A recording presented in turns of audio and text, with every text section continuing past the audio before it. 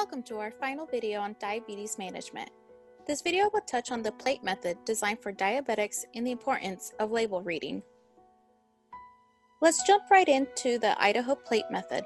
The plate method is a tool designed to assist in diabetic meal planning. Start with a 9-inch dinner plate.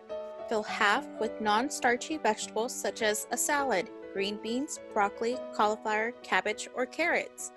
Fill one quarter with a lean protein such as chicken, turkey, beans, tofu, or eggs. Fill a quarter with a grain or starchy food such as a potato, rice, or pasta, or skip the starch altogether and double up on non starchy veggies.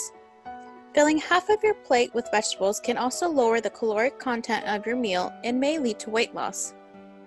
The plate method is a simple visual way to make sure you get enough non starchy vegetables, and lean protein, and limit the amount of higher carb food that has the greatest potential to spike your blood sugar. We often refer to the importance of serving size and portion size, but these two aren't always the same.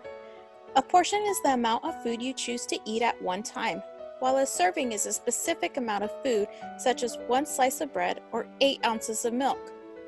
Studies show that people tend to eat more when they're served more food, so getting portions under control is really important for managing weight and blood sugar.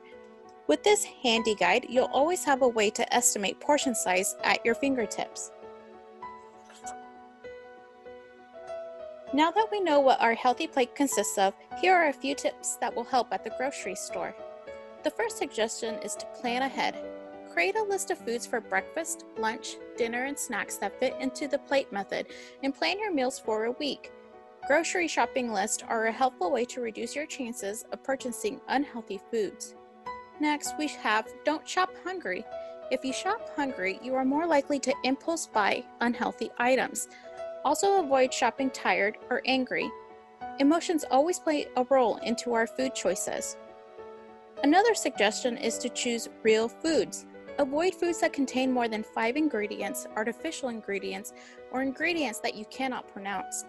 That's not to say that these items don't have their place, but they should be purchased less frequently than more nutritious foods. Learning how to understand and use the nutrition facts label can help you make healthier choice eating choices and identify nutrient dense foods for a healthy diet. It's important to look at the serving size and the number of servings per package.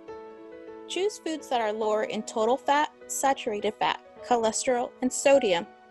Keep trans fat at a zero.